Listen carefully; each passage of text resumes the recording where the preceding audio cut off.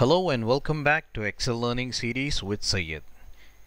In today's episode, I am going to show you autofill, a very cool feature of Excel that will allow you to enter data automatically without having you to enter it manually on the worksheet. There are several things that you can enter automatically inside Excel. For example, we can enter a series of numbers. If I enter 1 and drag this down using the drag handle, it is going to fill in the same number for me. But in case if I just click on that little handle which is autofill options now select fill series. See that? Excel understands that I need the series of numbers and it will fill that up for me. Let me get rid of this one. Now I will try this one more time but this time I will hold the control button on the keyboard and drag it using the drag handle you can see Excel filled in the series for me. Similarly, I can also enter the days. For example, I can enter Monday and if I simply drag this down, Excel will fill the series for me. See that?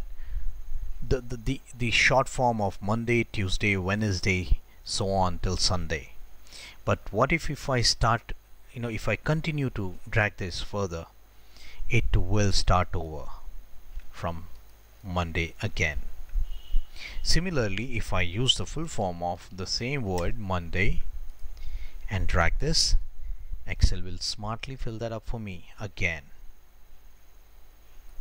I can go on and repeat this. Now let me try another thing. There is month name that I can try with Jan if I simply enter a three letter uh, name for a month and drag this down Excel will fill in the three letter month name for me. And it went up to December. What if if I keep dragging this further? It will start over from Jan. Isn't it great? Now let me try another thing. What if if I enter time? Will that work? Let's see. I will enter 9 a.m. and I would enter 9:30 select both of them and drag this down. There is a pattern. There is a difference of 30 minutes.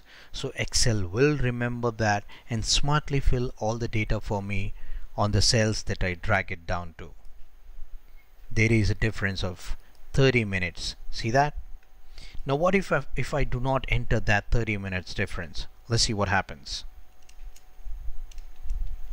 I will simply drag this down. And you can see Excel will jump for one hour. There is a difference of one hour between each jump. That's the default thing that Excel does for us. Now what if I want to enter some custom list? For example I say product 1 and I drag this down.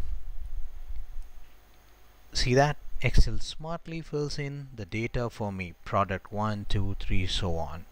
Similarly if I press say if I enter text 1